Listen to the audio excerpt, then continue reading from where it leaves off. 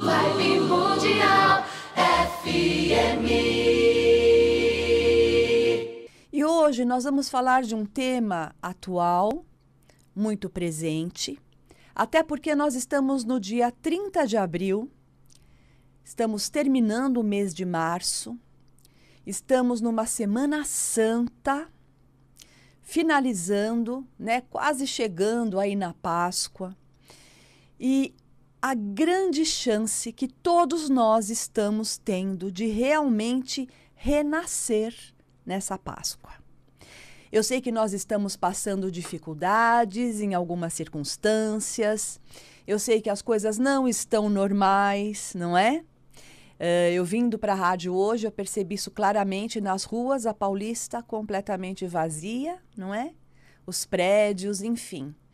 Mas, como eu sempre digo, e como eu venho aprendendo, está tudo absolutamente certo e na mais perfeita ordem divina.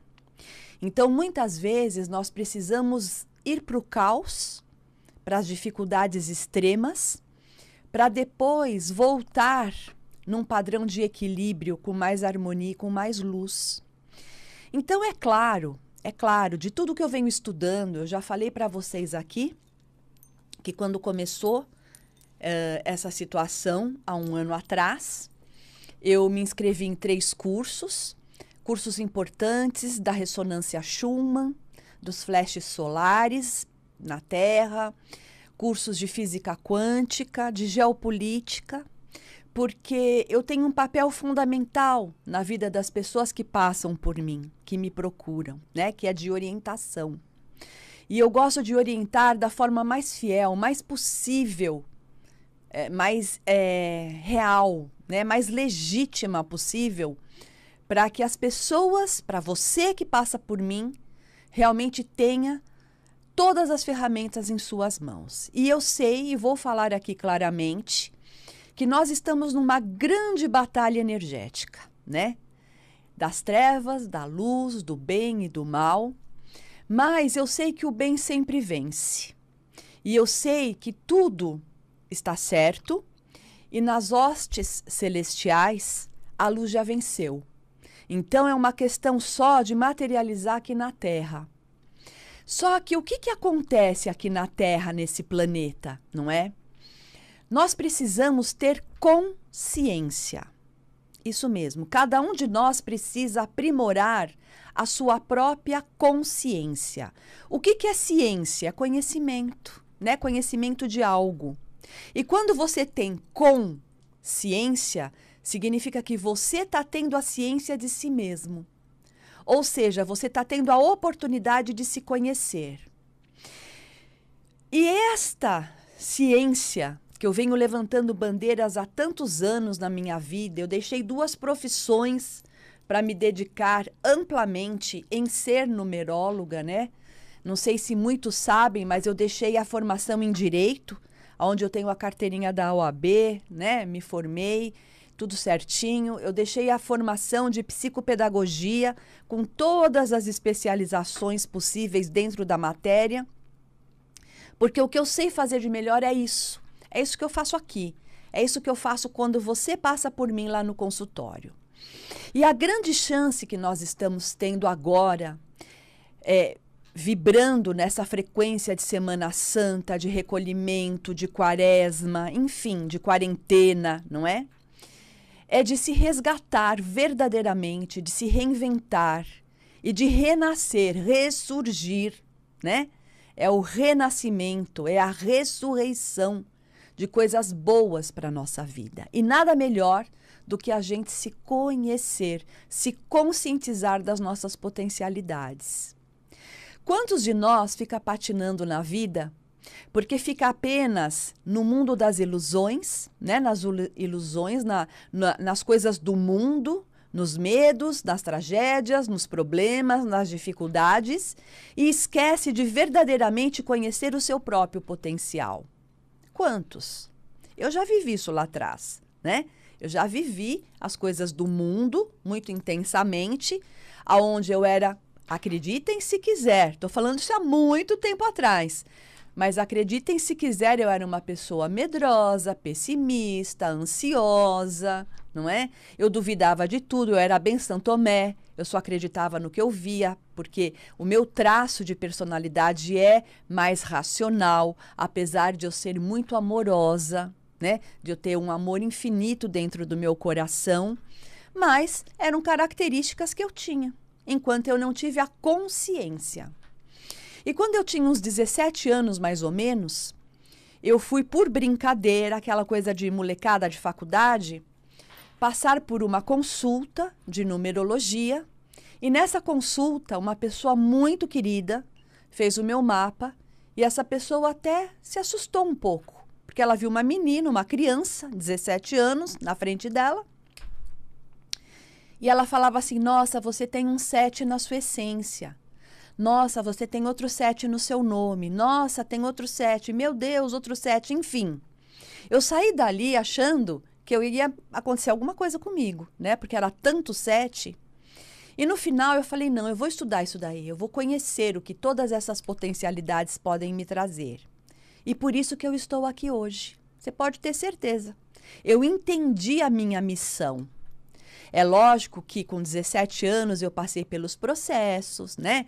de formação acadêmica, dessas duas formações que eu acabei de falar, mas paralelamente eu sempre fui estudando, eu sempre fui buscando conhecimento, eh, essa consciência, a espiritualidade independente de religião, até que um dia eu despertei e eu falei: o que eu sei fazer de melhor é isso.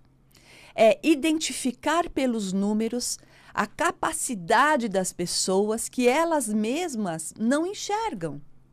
E por isso que esse trabalho deu muito certo, por isso que eu cresci profissionalmente dentro desse trabalho.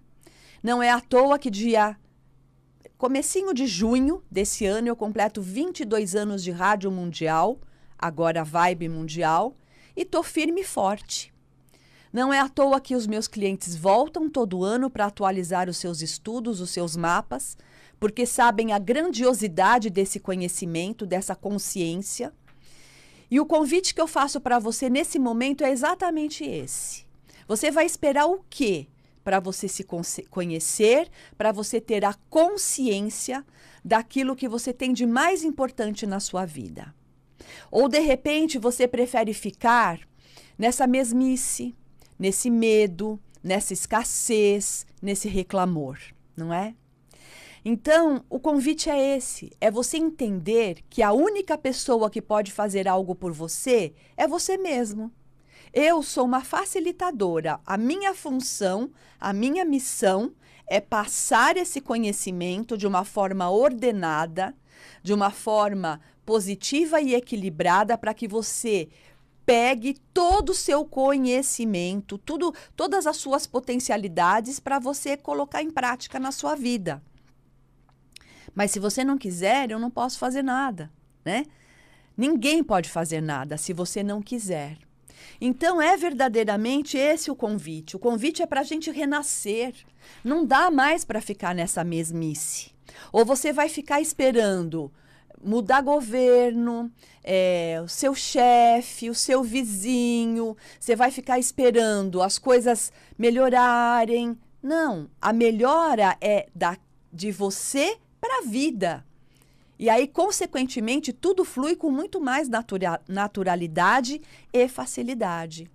Então vamos agora, nesse momento, pegar firmes aquilo que há de mais precioso na nossa vida, que é a conscientização. É você se conscientizar de toda a força, de todo o poder. O poder é conhecimento, né? E o conhecimento é poder. De tudo aquilo que você traz. Ou você acha que é por acaso que você tem o nome que você tem? Você acha que é por acaso que escolheram esse nome para você? Você acha que é por acaso que você tem esse sobrenome? Essa combinação de letras?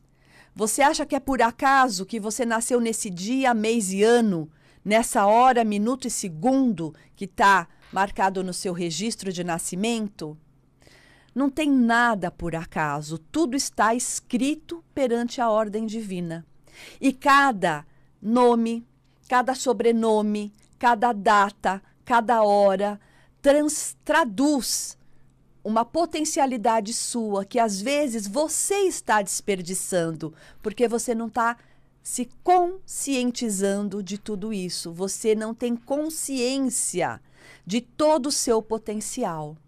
E o convite é esse: venha entender que ninguém vai mudar nada na vida, no, na cidade, no país, no planeta, se cada um de nós não fizer a sua parte de conscientização. E olha, esta ciência ela é tão sublime, ela é tão maravilhosa, pena que muitos e muitos anos ela ficou adormecida, até porque a gente sabe que foi é, foram algumas circunstâncias, né, que até desprestigiaram esta ciência tão maravilhosa dos números. Mas se você for também prestar atenção, tudo é número na nossa vida. O seu endereço tem número, os seus documentos têm número, uh, tudo, tudo que você vai fazer com hora marcada, uh, um exame tem aquele número do protocolo, enfim, tudo é regido por letras e números. Então você acha que tudo isso é por acaso? Vamos fazer diferente nessa Páscoa, né?